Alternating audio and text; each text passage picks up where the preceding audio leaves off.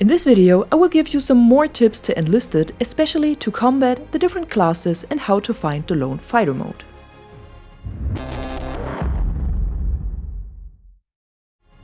Tip number one is mount fully automatic weapons at windows or obstacles to reduce recoil and turn your gun into a laser. Just press F on PC, X on Xbox or square on PS5 when you are in the right position. If turning is blocked at some point, step back and mount your weapon on another position.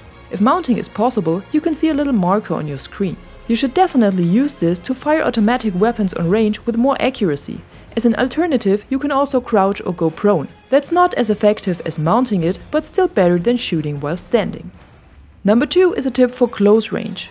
Don't underestimate hip fire in close quarter combat.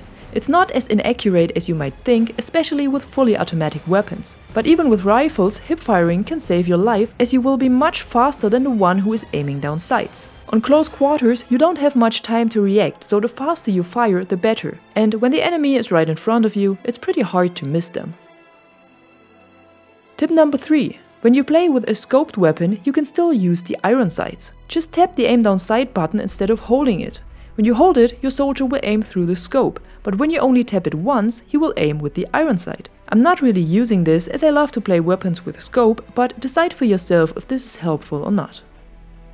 Tip number 4. You can destroy stationary MGs simply by shooting them. Especially on D-Day, this is something you should definitely try when playing as an ally. The Axis side has loads of these stationary MG42s with almost no recoil that will instantly kill you and your squad once you step onto the sand. And they won't stop as long as these MGs are still working. So take a scoped weapon and shoot the MGs before you try to attack. This will save you a lot of tickets. It takes a few shots until the mount is destroyed, but it's worth it. Tip number 5. When you start into battle as an engineer, be sure to build a rally point at a good position to create an additional spawn point for your team.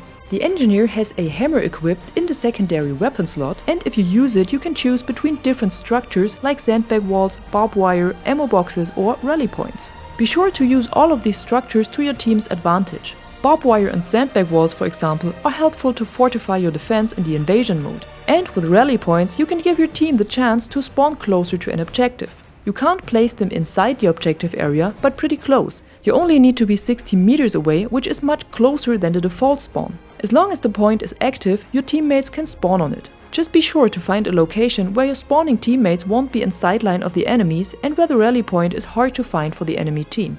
If necessary, build sandbags around the point to protect it. In the spawn menu, rally points will be shown with blue flags. If it is grey, you can't spawn on the point at the moment, cause there's either someone else using it right now or there are enemies nearby. If you can, just wait a moment. If the blue flag disappears from the map, the rally point was destroyed. And that's also what you should do if you have found an enemy rally point. Just shoot at them to destroy them. You can also dismantle them properly, but that will take more time. You can hear nearby rally points as they produce a beep or some kind of radio signal. So if you hear anything like that, better have a look if it is a friendly one or not. Note that you can not only destroy enemy rally points and structures, but also your own. So if there's a blue cross when you aim on that point or structure, don't destroy it. Also be careful with holding R on PC, X on Xbox or square on PS5 near these build structures. You might accidentally dismantle them. Tip number 6. When you play as a tank, stay away from trenches and narrow streets.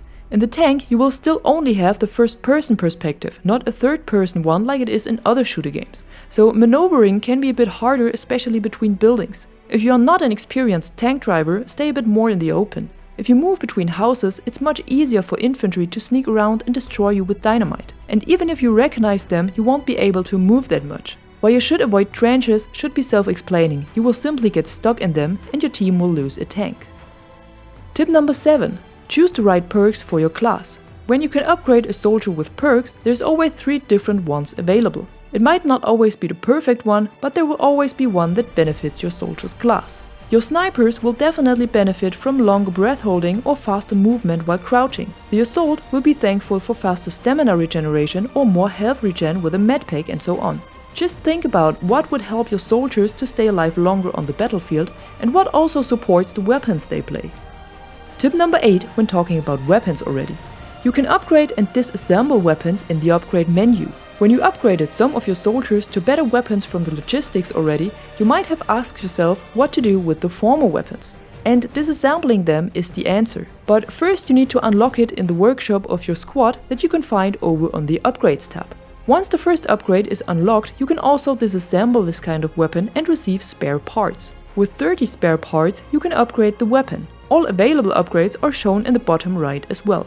But before disassembling the first weapon, I would recommend to unlock all modification cost and disassemble bonus upgrades in the workshop, cause then you will receive more spare parts for each weapon and the upgrades will cost less. Tip number 9 is for the Lone Fighters mode as I saw a lot of people that quit the game because they thought there was only a squad mode available. It is not. When you reach level 3 of your current campaign, you unlock the Lone Fighters mode. This won't show up before you unlock it unfortunately. In this mode, you can play without a squad and any AI soldiers and you only use one soldier at a time. So basically the normal team versus team shooter experience. Note that you have to unlock the mode for each campaign as your level is always bound to it. To switch campaigns by the way, just click the switch campaign line in the top right corner of your main menu. And tip number 10, on the main screen at the bottom right, you can enable or disable join any team. If this is turned off, you will only play as the faction you have chosen at this moment. So if you want to level up your Axis squads for example, choose the Axis faction, disable this option and you will always play as an Axis soldier. If it is enabled, the game will match you to either of the sides. And that's it for today. Drop a like if you found any of these tips helpful and subscribe to the channel to stay tuned. Until then, thanks for watching, I'm the CadWoman and you are awesome.